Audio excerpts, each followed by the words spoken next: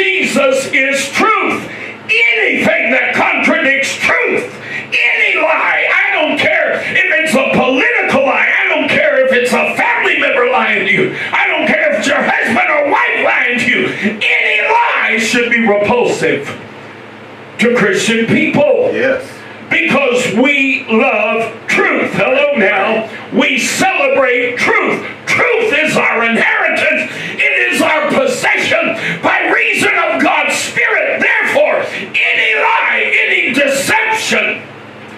is completely contrary to everything that is in us. So you have